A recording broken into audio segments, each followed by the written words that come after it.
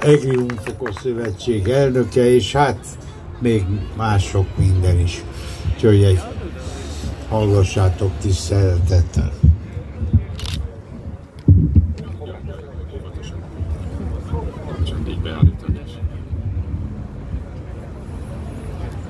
Szeretettel köszöntök mindenkit, Egri Hunfokos Szövetségtől, mi is már 2003 óta létezünk, és azóta tesszük a dolgunkat, például 2007-ben ö, Szeged mellett olajkutat foglaltunk, stb.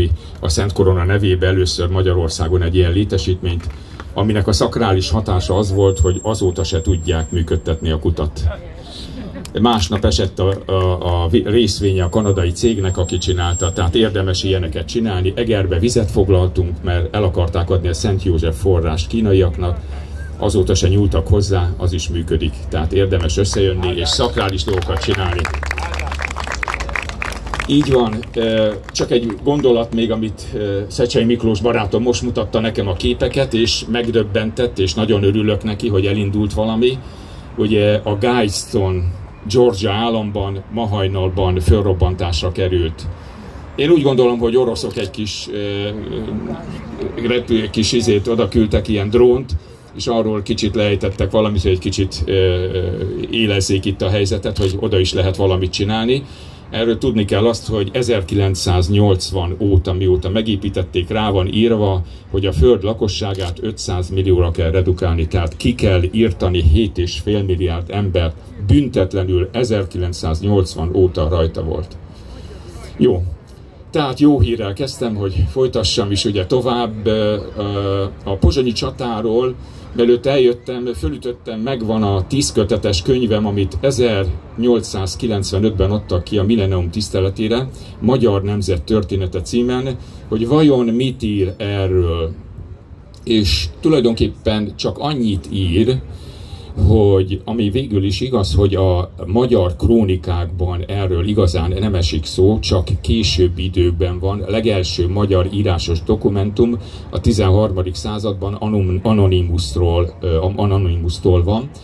És ugyanígy külföldön is, tehát kevés ősi krónika maradt, például a Freisingi, Freisingi naptár, amiben például csak annyi van, hogy osztrák területtől keletre történt a csata, tehát a pozsonyi csata megnevezés mind később alakul ki. Ezeknek az igazi irodalma a 12.-13. században jelenik meg nyugaton is, de e, ugye el kell fogadnunk ezeket, mert ha ké, még a 13. században emlékeztetnek arra, hogy mi történt 907-ben, jobban, mint mi most. Ugye sose hittem el, hogyha például Egerről is azt mondják, hogy 1525-ben van Eger városának az első írásos dokumentum, akkor attól létezik. Nem igaz. Eger város is olyan, hogy a városon belül megvan a kőkorszaki lelőhely, a bronzkorszaki korasz, prészkita, szkítakori temető, minden van Eger környékén, tehát folyamatosan lakott, ezeket föl lehet tárni, és nem lehet ilyenhez kötni. Nem beszélve arról, hogy ugye ez az irodalom a későbbi kutatásokról és a, ké, a késői eredményeket összetéve jött ki, hogy a pozsonyi csata valóban hogy zajlott. Magyar forrásból csak Anonymous-tól tudunk egyáltalán erről, de a külföldi forrásokból össze lehet lakni, és át lehet venni. A külföldi ilyen pozitívnak tünteti fel a magyarokat, és ilyen a csatába, hogy így győztünk, és ilyen nagy vereségeket elismeri, hát akkor ezt csak pozitívnak kell értékelni, és tényleg foglalkozni vele, tanítani kéne. És egy, idéznék egy idézetet, igába hajtani a nyakunkat annyit jelent, mint meghalni. Ez egy régi hún írásban maradt meg. És ezen gondolkozzunk el, hogy ma ez történik velünk itt Magyarországon is, hogy igába hajtjuk a felünket, és gyakorlatilag meg vagyunk halva. A média segítségével elveszik az emberek tiszta látását, gondolkodását, és így az életünket, ez nem nevezhető életnek, ami itt van. Tehát naponta megsanyargatnak bennünket, nem engedik a gyökereinket, nem engedik a történelmet. Látjuk, ez az idézett könyv, ez a történelmkönyv, ez a tízkötetes könyv, szándékosan idegenek írták és megmódosították a történelmünket. Az a baj, hogy én úgy látom, hogy minden év, minden dokumentumot újra kell értékelni és újra kell írni, hiszen nem magyar szívű, idegen szívű emberek írták a magyar történelmet. Még egy gondolat lenne, hogy ugye a honfoglaláshoz én is azt mondom, hogy senki ne használja többet ezt a szót. Ez hon visszatérés, tehát másnak nem tudjuk nevezni, hiszen László Gyula, amikor meghalt, ő már úgy mondta, hogy a 17. honfoglalásnál járt. Tehát szerinte 17-szer legalább jöttünk erre, tehát ez egy pulzáló életmód, keletről visszajövünk az eredeti szülőhelyre. Nem akarom részletezni, de innen a kőkorszakba, ugye a gravetti korba, és a vonal, alföldi vonalas kerámia idején vándoroltak ki emberek több százezer mennyiségű a Kárpát-medencéből északra, keletre, nyugatra, mindenhova, és ezek köszönnek vissza, és ezek jönnek vissza. Ez egy óriási mennyiségű kivándorlást jelent.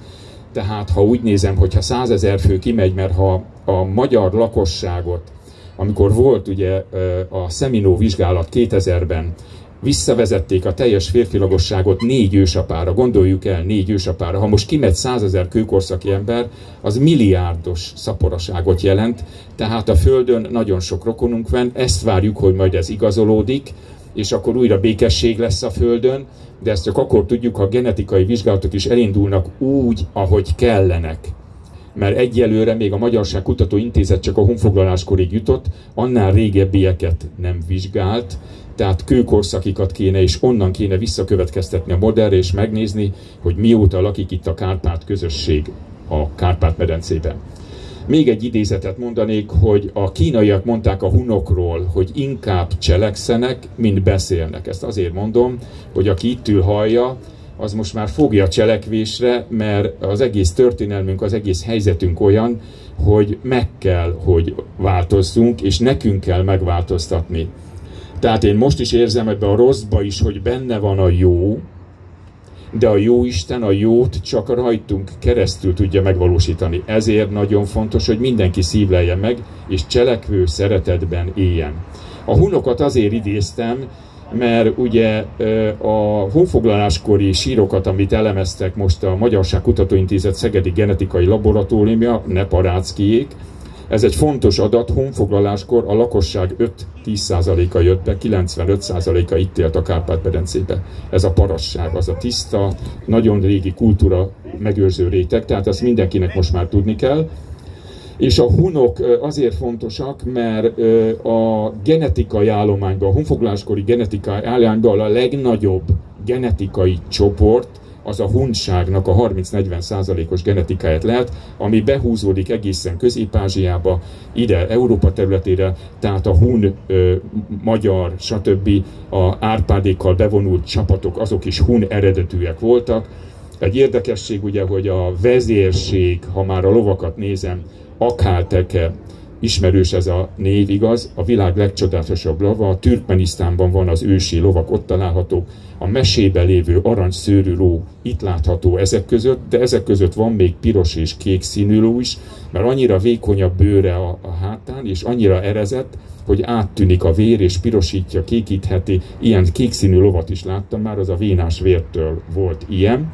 Ezt csak azért mondom el, hogy az lenne az ideális, ha most ide lóhától jöttem volna, és lóhátról beszélnék, hiszen a hunok, a magyarok, a férfiak mindent igyekeztek lóhátról csinálni, nem szálltak le a lóról, akár beszélgetés, akár étkezés, akármi volt, csak ha muszáj volt, annyira hozzánőttek a lóhoz. Tehát legközelebb majd egy olyat kell hívni, aki lóhától jön ide, és majd lóháton fogja megtartani.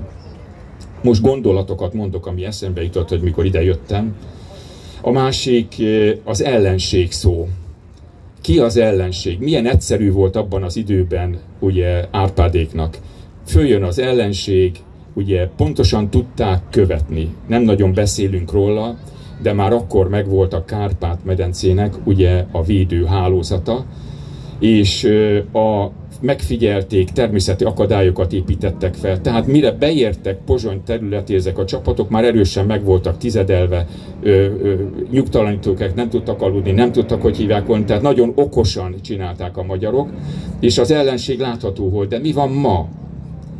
Ma van egy kiszolgáltó réteg, vannak a multicégek, a bankok, tehát ezek az ellenségek, ezért nem tudunk velük egy egyszerű harcot ö, ö, lebo, lebonyolítani, ezért vagyunk állandóan rossz helyzetben, mert bejöttek a Kárpát-medencébe, bejöttek Magyarországra, átvették itt a pénzhatalmat, mammont szolgálják, és egy gonosz sátán Isten telepedett ide Magyarországra is. Ezt tudnunk kell, hogy ezekkel kell fölvenni. Ezekkel is lehet pici harcokat fölvenni. Nem használom a bankot, nem használom a, a kártyát, készpénzt csinálok, mert most el akarják venni a készpénzt és digitális pénzt akarnak, és megkezdték a magánvagyon felszámolását is. Ezt most már mindenki láthatja, olyan rendeleteket hoznak, amivel ezeket föl lehet számolni. Csak egy példát mondok, most épp a feleségem mondta, hogy a könyvelő mondta, hogy majd a közműdíjakat csak az én lakásom, ahol lakom, ott lehet normál szinten, ha már van egy másik lakásom, amit kiadok, azt tervezik, hogy azt viszont ipari szinten, mintha üzem lenne, stb. úgy kell fizetni. Tehát megemeli a költségeket, nem tudja megtartani az ember, el kell adni, és évek alatt így akarják elszedni mindenkitől a vagyon. Nagyon vigyázzunk. A másik, hogy ki az, aki életét adná ezért az országért most. Hát én úgy gondolom, ahhoz meg kéne valósítani a Szent Korona országát, a Szent Koronatant és a történelmi alkotmányt bevezetni, és akkor mi is bátran mernénk az életünket adni, de ezért kell sok mindent csinálni. Ugye nézzük meg azért, Árpád meghalt, Üllő, Tarhos, Jutas, a fiai meghaltak. Mondjunk még ilyet, aki ennyi családi áldozatot hozott valamiért. Ezért Árpádra mindig büszkén kell visszaemlékeznünk, ő legyen a példamutató, és ne, ö, ö, ne legyünk gyávák mi is, és ha eljön az áldozat ideje, akkor igenis hozzuk meg, mert az igazságért, ha kell, meg kell halni. Nemrég jártam ö, Oroszországba, keddel jöttem haza, majd arról is mesélek egy pár szót, és ott Petőfi után ö, nyomoztunk, és Petőfi ö, ö, ugye ö, ott volt eltemetve a Barguzinba, Bajkátó mellett, Búriát országban, és azért szólok most is egy szót, mert én nem fogom hagyni, szervezkedni fogok a Magyarok Világszövetsége nevébe, és hiszen a Magyarok Világszövetség is kitűzte. 2003. január 1-én lesz ugye a 200. évfordulója, hogy megszületett Petőfi, és nem szabad hagyni, hogy a csontjai temetetlenül egy sportszatyorban, Németországban, egy kolostorban vannak most is. Egy ilyen ember aki mint Árpád képes a hazáért meghalni, képes bármit megtenni, a legcsodálatosabbat hazaszerető verseket írt, nem szabad hagynunk, hogy temetetlenül maradjon. Majd erről tájékoztatunk mindenkit, kérek, hogy mindenki csatlakozzon hozzá, mert ez nagyon fontos. Nekünk Petőfi minden. Ott élt 7 évig még Szibériába, összejöttem egy énekesnővel, tanárnővel, aki zeneszerző, és egy, egy nagyon szép operát szerzett a Púriát ős királyról, és nekem Petőfi versek megzenésített énekét énekelte, ugyanis ott annyira benne van a köztudatba, hogy a kultúrában is benne van, hogy Petőfi ott írt verseket, színdarabokat rendezett, stb. Hét évig még élt. Összejöttem egy hölgyel, aki azt mondja, hogy a férje Petőfi leszármazottnak, a Petőfi leszármazott. Több mint száz Petőfi leszármazott van. Petőfinek volt egy felesége, és volt még egy barátnője, akivel megismerkedett később, mert elkerült más területetre, és ezen a két ágon több mint száz ö, ö, ö, szaporodás van a Petőfi vonalon.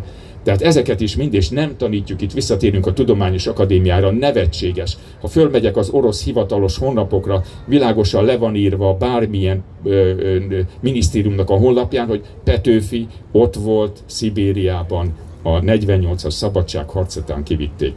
Tehát ezt azért tartom fontosnak megemlíteni.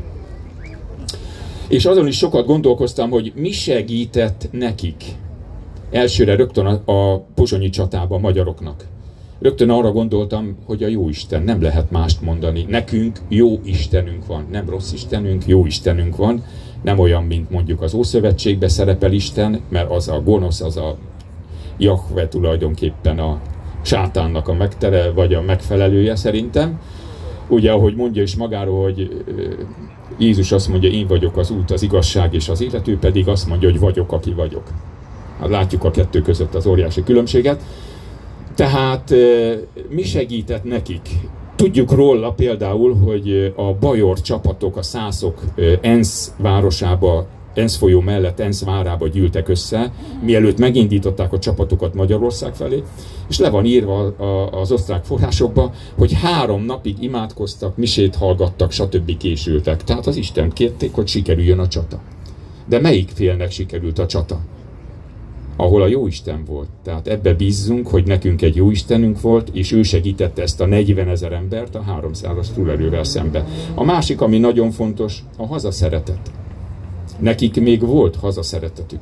Hiszen ahogy mondtam, hogy a Kárpát-medencébe 10 ezer, 20 ezer, 100 ezer éve, vagy 100 ezer évek, vagy millió éve, hiszen vannak ősi leleteink, a, a, a Samu, ugye például az 800 ezer éves lelet itt, ami kommunikációra, beszédre képes volt a Kárpát-medencében, tehát akár 800 ezer éve is élhetünk itt ezért ismerjük ezt a hazaszeretet is, és ezért tudták megverni ugye a gyepű rendszerbe, mert mindent ismertik, mint a tenyereket, hiszen tízezer évek vagy százezer évek óta itt laktunk, tehát ezért neki könnyű volt az ellenséget becsalni olyan területekre, vagy, vagy tudni kihasználni azokat a természeti rendelet.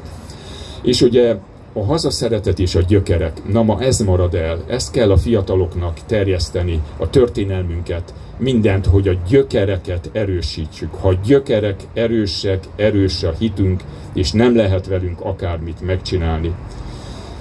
És más volt a rendszer, ugye a férfi férfi volt, a nő nő volt, ma meg ugye látjuk, hogy mi van, semleges, nem mit tudom én, már száz fölött van a nemek meghatározása, ugye, tehát ez is nagyon fontos. Mind a kettőre szükség van, nálunk nem lehet azt mondani, hogy a magyarság megkülönbözteti a nőt, mint az ószövetségi alapon fölépülő rendszerek, királyságok, stb.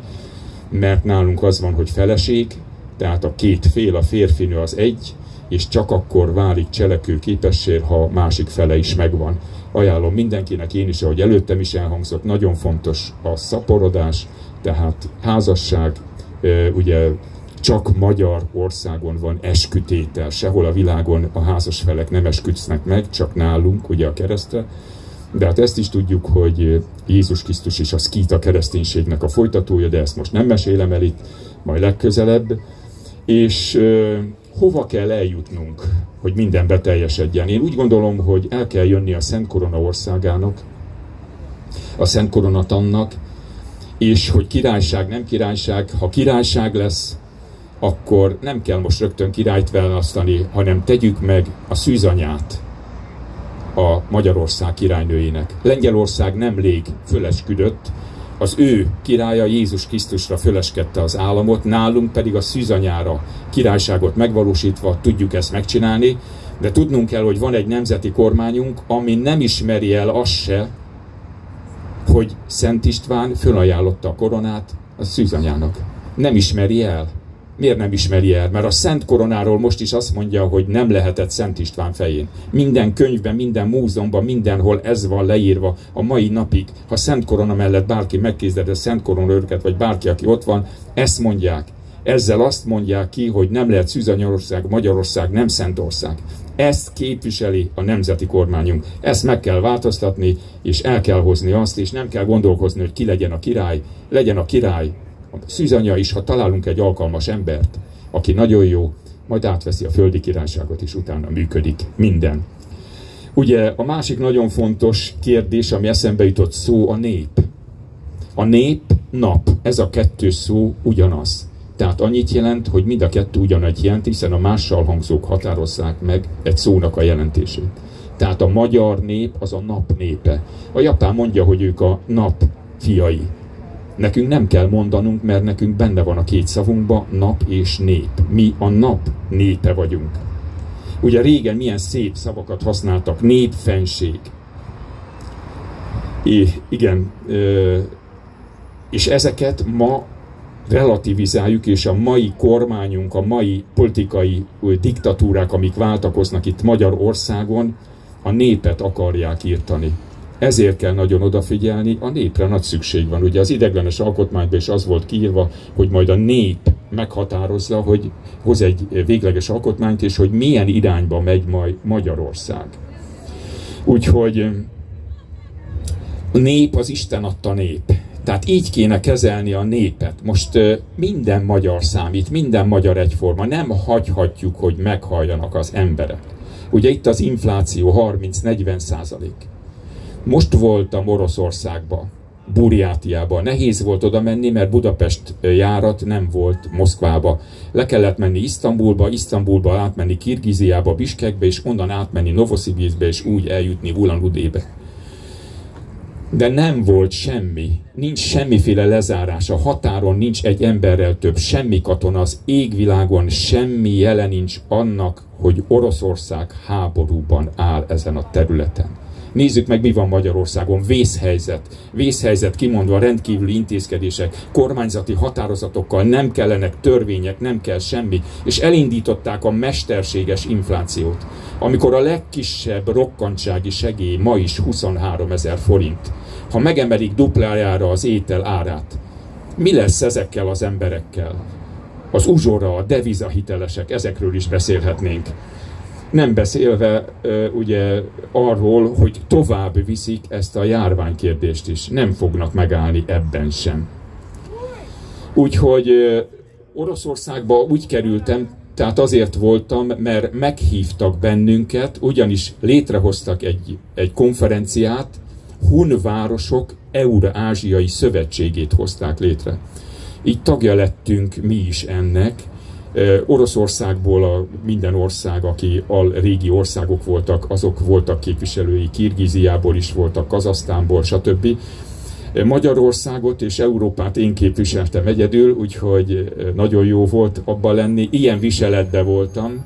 Ajánlom mindenkinek a viselet hordását mert visszafelé is például Isztambulba megálltam a reptéren, mert át meg kellett várni a budapesti járatot, és oda jön például három amerikai hölgy, fiatal, 30 évesek. Elkezdünk beszélgetni, és kiderül, hogy három orvos, két sebész és egy belgyógyász.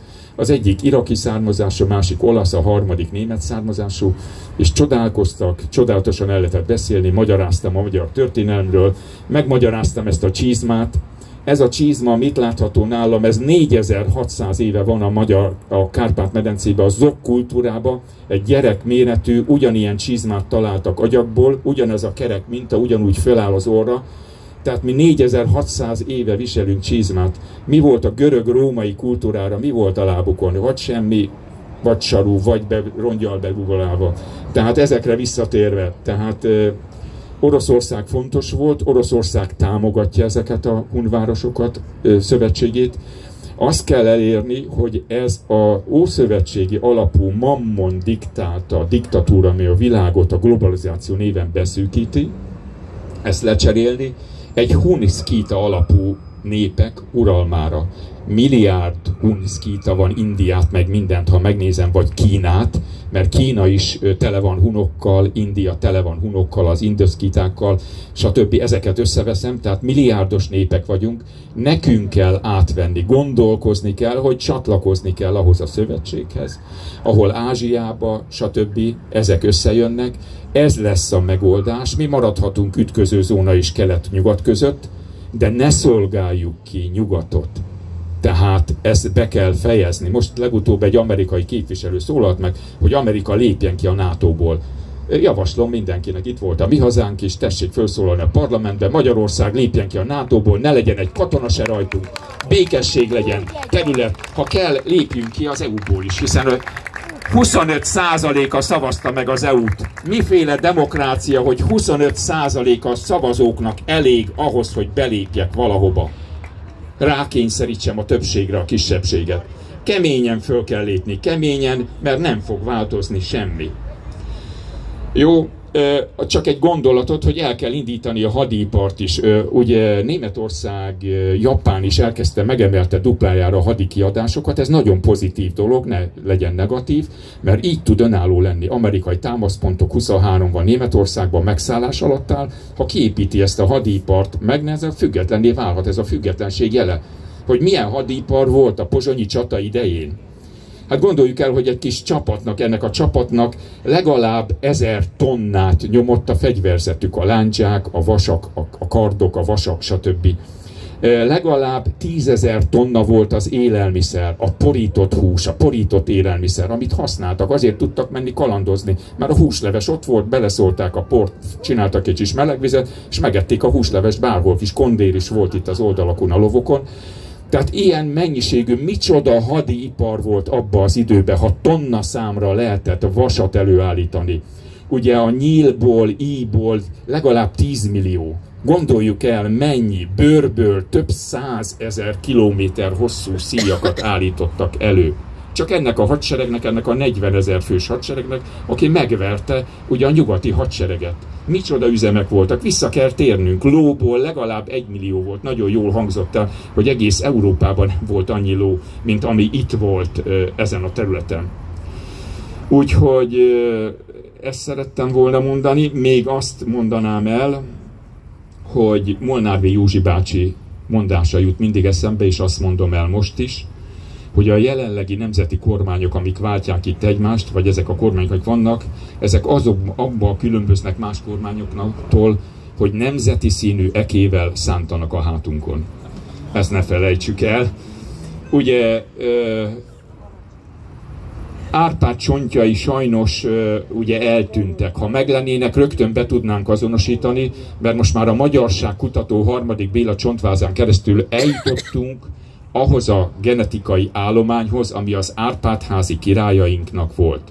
De az Árpádházat említem, akkor rögtön a Turul dinasztiára kell gondolni, hiszen a Turul dinasztia leszármazottja az Árpádház, akkor bejön Attila. Ha Attila megjön, akkor pedig Nimrodra kell gondolni, mert őtől leszármazott, ezt írják Attila, Attila Nimrod leszármazott. Ha meg bejön Nimrod, akkor rögtön Noéra, hiszen ő a Kám Kus Nimródágon leszármazott, tehát nekünk ez vissza kell menni. Itt mindenkibe, akit magyar leszámozott a génjét nézünk, egy ilyen picike gén mondjuk Noéból is van, vagy Nimrodból is van, hiszen a génállomány annyira megőrzi bármilyen találkozás más génekkel, hogy vissza lehet következtetni, hogy hol jártunk, milyen helyeken.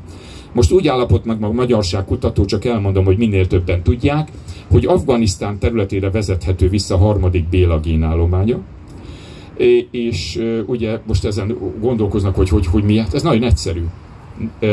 Ugye Nimrod, amikor összeomlik a Bábel tornya, akkor elhagyja ezt a területet, és az alapfélszigeten keresztül átvonul Af- Af- Afganisztán területére, és ott megalapítja Baktriát és Balk városát, megírja az Avestának elsőt, ami később Zende Avesztán, Zaratusztra írja meg. Tehát ott van, és ezek a területen az, kín, az meg föl is tűnik, hogy utána a környező államokban, Mongóliában mindenhol ugyanez a gélányomány volt akkor. Például csak egy érdekesség, vagy négy tetemet kiásnak Mongóliába francia régészek, és beküldik a nemzetközi anyagba a, gén, a teljes génállományt, amit megcsinálnak, egy teljes genom szekvenciát, és kivel, kire hasonlít leginkább ez a négy Mongóliában talált? Harmadik Bélára az egész világon.